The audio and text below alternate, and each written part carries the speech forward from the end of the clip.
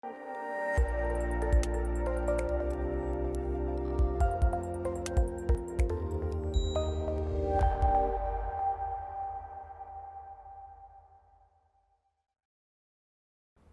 good morning and welcome to this session, the session two of our, our course, uh, Management of NGOs. And, and today we are going to be continuing from where we left off um, uh, the last time in, in session one. In that session, what we did was to get an understanding of what or what type of organizations qualify to be called NGOs. And we went through quickly the definition of NGOs and, and, and, and how uh, we can, the features of NGOs. In this session, we are going to continue that discussion. So we are looking generally at the context of NGOs. Uh, my name is Justice Bawole again, and um, I'll be your tutor for this session. In this session, we would want you to be able to come along with uh, understanding a bit more some other classifications of NGOs and also to identify what um, the functions of NGOs are. Uh, we will also go through what the scope of NGOs activities have been. And so come along with me and please note that this is meant to be a continuation of the previous session. So you are supposed to come along with that along those lines. Uh, don't hesitate to go back into your, your slides uh, occasionally to make reference if you need to make reference so you are able to follow the discussion well. And of course, I know that your tutors would be available to help you at some point if you need some more clarification. But for today's session, we are looking at the context of NGOs, so we're going to be looking at a bit more about the classification of NGOs and the scope of NGO activities and the relevance of NGOs in modern development. So we, we have talked about some classifications already, and when we did, we looked at classifications based on community, either an NGO is a community-based NGO or it's, it's um, a national NGO or an international NGO. In Ghana, the Department of Social Welfare has jurisdiction over uh, the supervision of NGOs. So all NGOs will have to register with the Department of Social Welfare. Um, and, and, and that re uh, registration requires you to renew your registration every year. So if you are just thinking about forming your NGO, which is the, one of the key essence of this program, we, we want to encourage you to make sure that you have gone to the um, Department of Social Welfare in the district to be able to uh, register your NGO. You pick up a form and you register your NGO. Uh, when we get to creating an NGO, we will talk a little bit more about registering your NGO. But the Department of Social Welfare has its own categorization of NGOs. In other words, there are some classifications that you see. It says that NGOs can be categorized into four particular categories or types. There's community-based NGO, which we referred to earlier. There is also national NGO, which we referred to earlier. And then there is also what they call uh, national NGOs with international affiliates. So you get an NGO, like I mentioned, Challenging Heights or Amasachina, which is in Tamale, um, has it's a national NGO, but they might have some affiliations with international organizations, and these affiliate affiliations would help them to be able to get resources from these uh, international organizations. But there are also international NGOs that are operating locally. Like I mentioned earlier, uh, World Vision, Plan Ghana are international NGOs, uh, but they have local offices in Ghana and they operate. So that is how uh, the Social Welfare Department classifies NGOs. But Salmo, uh, Stillman also has his own classification, and he also classified NGOs into four main families or groups. The first one, he calls them unincorporated associations. In other words, these are associations that are formed in the community and they are not registered. So women's association, women's group, they don't register, they just meet, they agree that they have, uh, uh, they have common interests and they just meet to deal with issues. Um, sometimes if you, if you go to the communities, you find a small group of people, maybe Barbers Association, and they meet, they discuss issues related to them. They, don't, they are not registered. Uh, so they, there are no legal formalities for them to complete, but they are just also a group of organizations. But he also talks about what are known as trust, charities, and foundations. And he says these ones are organizations that usually have some resources available and they want to give that, those resources to people. Um, and these uh, charities, trusts, or foundations are usually established by people who have who are accomplished, have made a lot of money, and they feel that they want to give up some of the money to society. So, for example, you have Bill and Melinda Gates Foundation, which has a lot of money to give to people or organizations to do work in different ways. They are also a category of NGOs. You can have the um, um, other foundations, Mo Ibrahim, Mo Ibrahim Foundation, which support activities of governance in Africa, for example. That is a trust, a charity, or a foundation. But we also have what is known as a company not for profit, which is where typically our kind of NGOs that we have in Ghana will fit in. Companies that are established, they are limited by guarantee and they engage in activities uh, to be able to provide some support to some uh, communities or people in some organizations. And then we have also uh, entities formed or registered under special laws. In Ghana, when you go to the Registrar General's Department, and don't forget, let me just remind you that if you were to form your NGO, you need to go to the Registrar General's Department and to register your NGO before the Department of Social Welfare would even accept your uh, application for recognition and certification to operate. So, so under those laws, you can register your NGO as a company limited by guarantee, and you'll be required to operate based on the laws that govern companies limited by guarantee. And companies limited by guarantee means that it is, uh, um, it is the people who form it who have responsibility to service it if there are problems with it. So, so those are the four categorizations that Stillman uh, puts in place. Salamon is one very good writer. He's a very accomplished writer in the NGO terrain, uh, and he has his own classification, and he classifies NGOs in these ways. He uses what he calls the legal criteria, in which case he's looking at what is the legal form of a particular NGO. You can have NGOs with different legal forms, but he also has NGOs, he classifies NGOs based on economic criteria. So he says there are NGOs that will be engaged in different type of activities or income generating activities or areas of economic activity.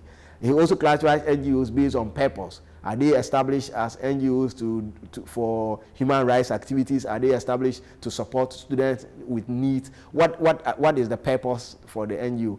And then he also talks about the structural or the operational uh, um, uh, type of NGOs that, that are grouped according to the structure or operations they undertake. So depending on the kind of operation or structure, they can group NGOs. For example, you can have NGOs that we talked about, international, they operate in regions, they, operate, they have different structures, they have a tall bureaucratic structure and all of that. Now, once we have seen some classifications of NGOs, I'm sure that if I were to ask you to see whether or not NGOs that operate in the area that you are, you might be able to come out with a different categorization or classification of these NGOs. You are at liberty to do that because that's the essence of this program, to make sure that you are able to come out with your own understanding of what exists within your society. Now, let's quickly look at what NGOs do. In other words, the scope of activities. So what do NGOs do? And I, I dare to say that NGOs can or have been engaged in virtually everything that exists on, on, on earth. There are NGOs that are dedicated to looking at health of people and in health you can have different sets of activities that NGOs engage in. For example, you can have NGOs that are in, that, that try to look at um, dementia cases, people who have physical disability. Uh, in Ghana, you have Save the Sight Found, uh, Save the Nation's uh, Sight of the Nation Foundation. You have NGOs that are dedicated to to eyesight, to uh, different types of diseases. So you can have NGOs that are, you know, in different type of activities.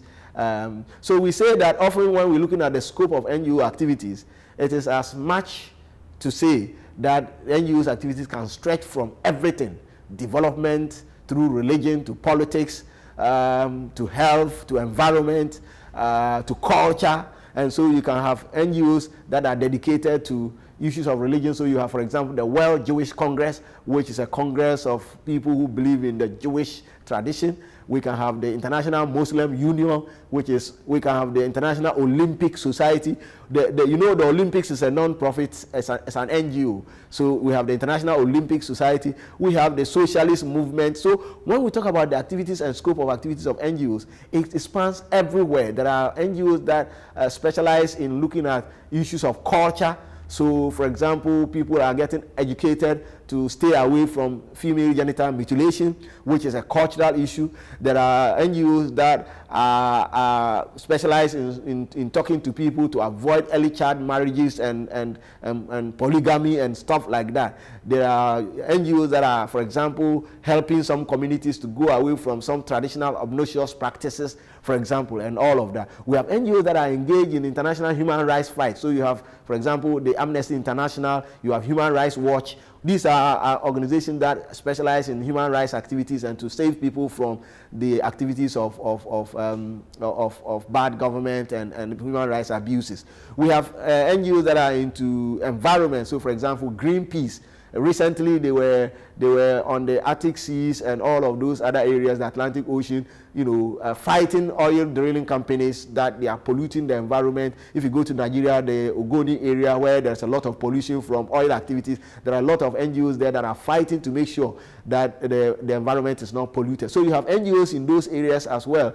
You have NGOs in governance. Uh, for example, in Ghana, you have IDEG, Institute for Democratic Governance, you have CDD, Center for Democratic Development. All of these are kinds of NGOs that help to develop democracy and, and all of that. So you would find that in, when we talk about the activities of NGOs, it spans across. So if you intend to, or as I keep encouraging you, if you have to establish your own NGO, you can look at anything that you think affects humanity and you can specialize in that area and go ahead to establish your NGO in that area. So why are NGOs important?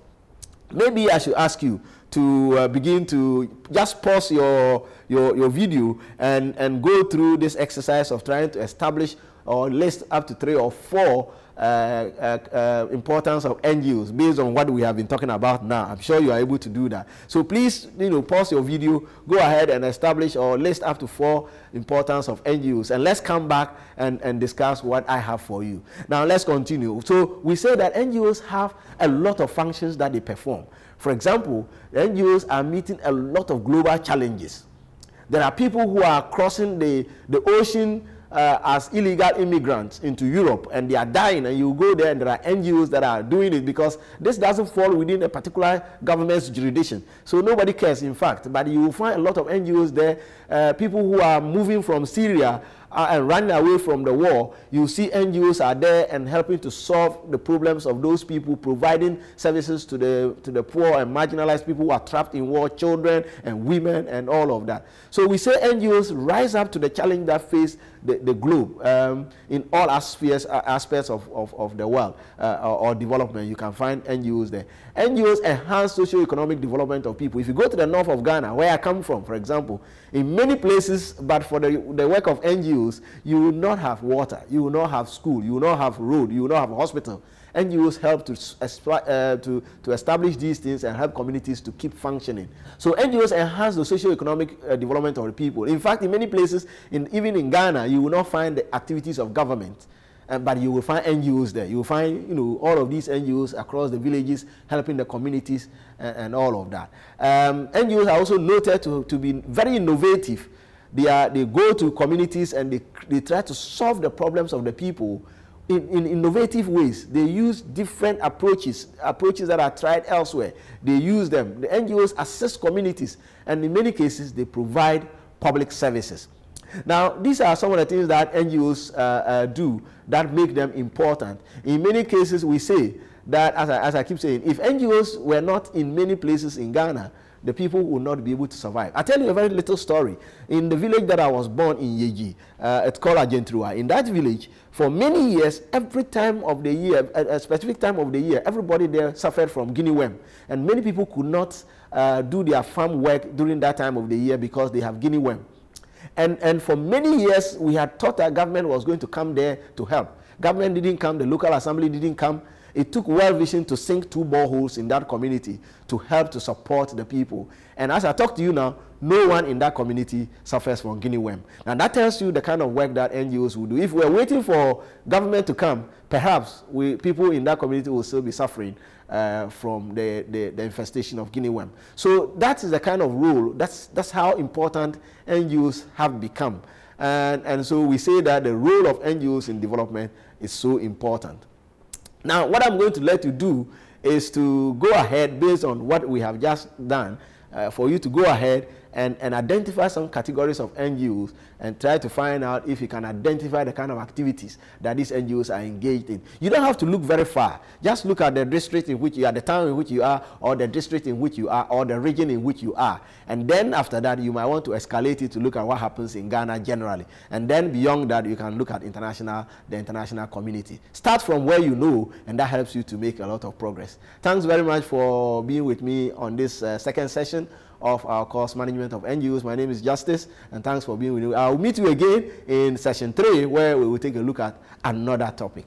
Thank you very much.